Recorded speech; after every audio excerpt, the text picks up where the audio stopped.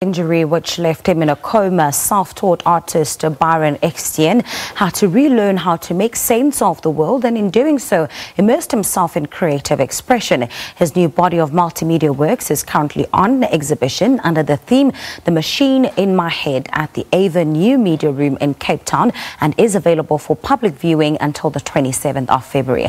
While the man behind the multicolored canvases joins us from our studios in Cape Town to tell us more about uh, this project. Byron, it's great to have you on the show. Thank you so much for making the time to uh, come chat to us so early. I understand that you're a self-taught artist. Let's perhaps start with how you discovered this passion that you have for art.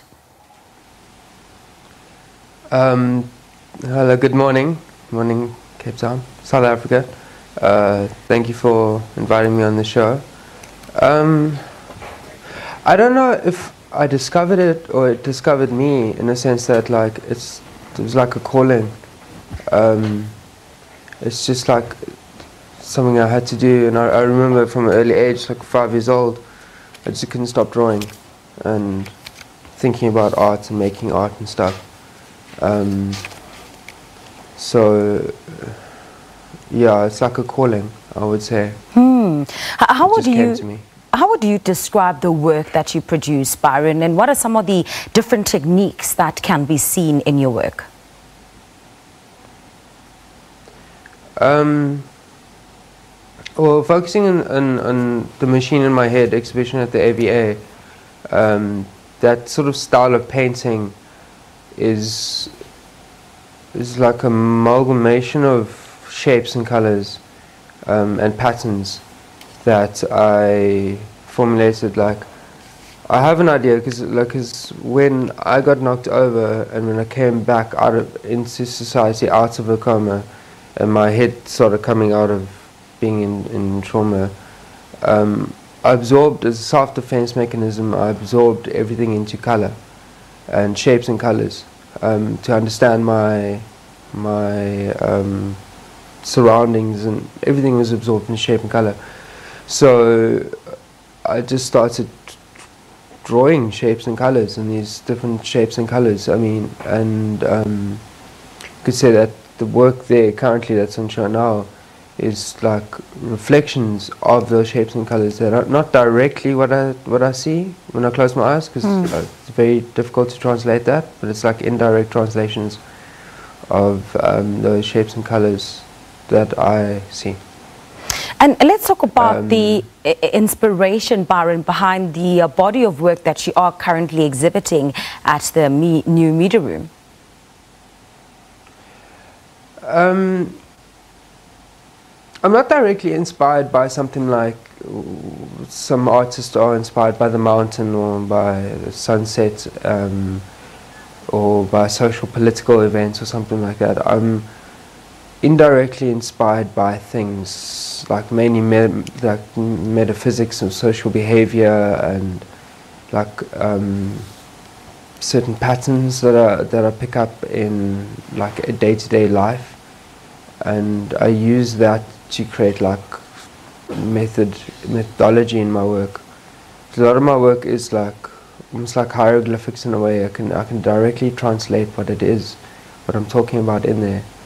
Um, but then directly in inspired, I would say like, you know, graffiti um, has directly inspired me and certain like classical art, like uh, artists, Michelangelo, the old classics, um, sculptures, a little bit from little everywhere, I would suppose, things that would inspire me and then get stored in my mind. Um, but I'm not directly like, uh, I want to be a, a, cubist artist or um, I want to be impressionist, so I'm be inspired by one of those greats. So it's just amalgamation of everything that I've, I've been absorbing basically. And take us through um, some of the themes that you explore through this exhibition and perhaps some of the messages that you are driving through this particular installation.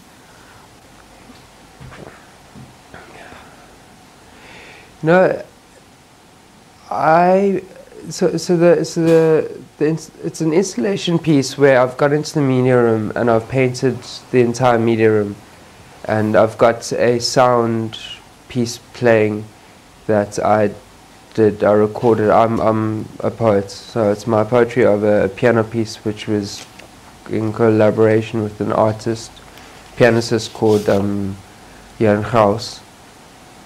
And it's various, it's various sorts of things. I'm more interested in discussing the, the, the darkness of one's mind and subconsciousness. Um, so when I was when I'm painting when I was painting and when I am painting that space that um, very different spaces of my mind that I entered that could range from euphoria to like complete angst. Um, and it's just an exploration into that because I I like the ambiguity of the work being that um, people have their own translation of the work when viewing it. So the work's mainly supposed to speak to the, to the viewer's subconscious, and then through that, they um, they create their own definition of it.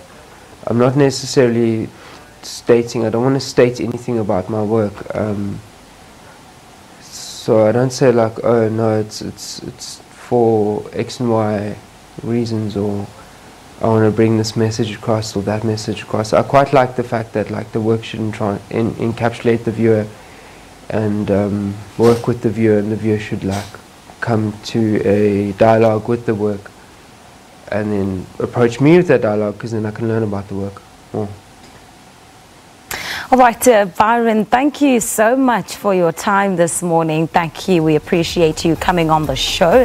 From our Sea Point studios, we just spoke to visual artist uh, Byron Mascole Eksteen, and he's been speaking to us about his project, The Machine in My Head, that is currently exhibiting at the AVA New Media Room in Cape Town and will be on show until the 27th of uh, February. We are going to uh, take a quick uh, break. Uh, when we come back, it's no ordinary Saturday. Uh, Miss Universe, Zozibini Tunzi